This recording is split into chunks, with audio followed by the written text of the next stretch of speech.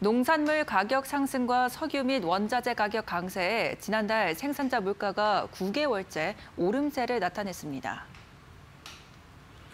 한국은행에 따르면 7월 생산자 물가지수는 전월 대비 10.7% 높은 110.02로 2011년 6월 이후 높은 상승률을 기록했습니다. 품목별 등락률을 살펴보면 농산물과 축산물 물가가 모두 2.4%씩 올랐으며 특히 유가와 원자재 가격 상승의 영향으로 석탄, 석유 제품 등의 오름폭도 컸습니다.